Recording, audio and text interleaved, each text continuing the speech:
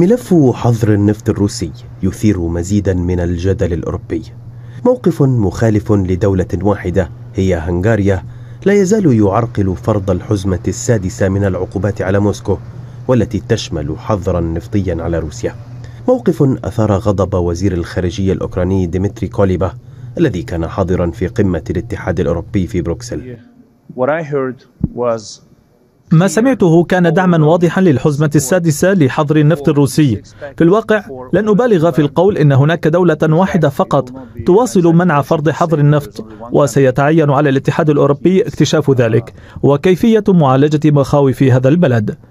تصدع في الجبهة الأوروبية أدى لفشل تحقيق الإجماع المطلوب لفرض حظر على صادرات النفط الروسي بينما تدافع هنغاريا عن موقفها وتؤكد أن تكلفة وقف مشترياتها من النفط الروسي تتراوح بين 15 إلى 18 مليار يورو مطالبة بإعفائها من حظر النفط الذي يسعى الأوروبيون إلى إقراره.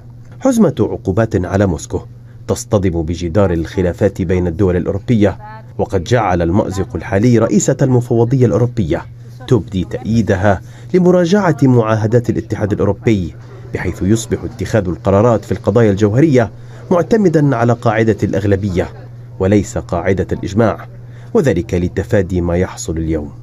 لكن في مقابل هذا الموقف الذي أعلنته فوندرلاين أمام البرلمان الأوروبي في التاسع من الشهر الجاري ترى أطراف أخرى أن الإجماع وحده يحافظ على وحدة الصف ويمنع تفكك الاتحاد. وبالموازاة مع هذه الخلافات داخل البيت الأوروبي تطل خلافات أخرى من داخل حلف الناتو. حيث ترفض تركيا ضم فنلندا والسويد إلى حلف شمال الأطلسي. وتبرر ذلك بأن الدولتين تؤويان أشخاصا تقول أنقرة إنهم مرتبطون بجماعات تعتبرها إرهابية.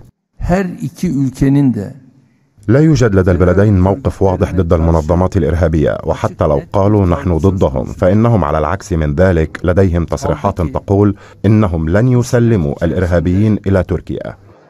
إذا إخفاق أوروبي بفرض حظر على النفط الروسي وفي الوقت ذاته غياب إجماع داخل الناتو بشأن انضمام السويد وفنلندا.